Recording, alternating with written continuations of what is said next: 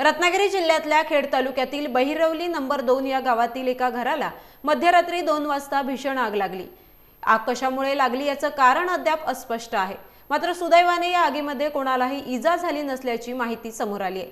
आगीमध्ये घराचे लाखो रुपयांचे नुकसान झाले असून नागरिकांनी खेड नगरपालिकेच्या अग्निशमन दलाच्या जवानांना पाचारण केल्यानंतर खेड नगरपालिकेचे अग्निशमन दलाचे जवान घटनास्थळी पोहोचले. मुख्य रस्त्यापासून घर चारशे ते पाचशे मीटर आतमध्ये असल्यामुळे व घराकडे जाणारा रस्ता देखील अरुंद असल्यामुळे घराला लागलेली आग विझवण्यासाठी येथे व्यत्यय येत होता.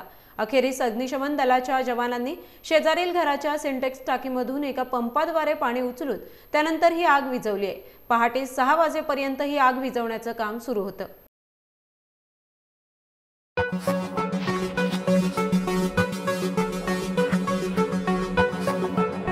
Thank you.